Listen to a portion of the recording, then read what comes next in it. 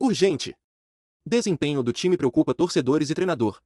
Continua no vídeo para mais informações e inscreva-se no canal para receber notícias diárias do Santa Cruz em primeira mão. Não é à toa que o técnico Raniel Ribeiro encara o desempenho do Santa Cruz no primeiro tempo contra o CRB como 45 minutos para esquecer. De fato, foi o pior tempo de jogo do tricolor no ano até aqui, e que deixa uma preocupação para que esse tipo de desorganização não se repita contra equipes que possuem um nível técnico mais elevado.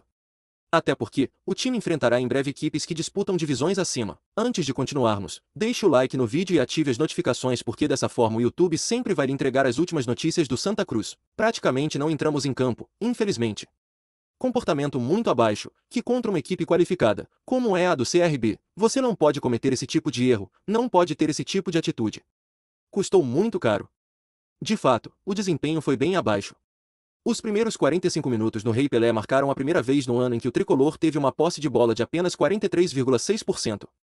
O CRB é uma equipe que consegue envolver seus adversários e você pegar um adversário assim, como nós entramos no primeiro tempo, sem a intensidade que o jogo precisava, aí gera o desequilíbrio que foi gerado, infelizmente, reforçou. Porém, nem tudo foi motivo para se descartar no jogo com o CRB.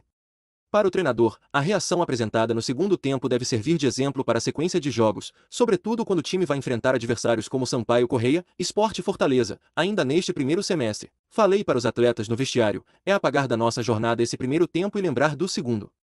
Servir como lição para que esses erros não aconteçam no futuro, finalizou Ranielli. E aí, torcedor da Cobra Coral, você concorda com o treinador?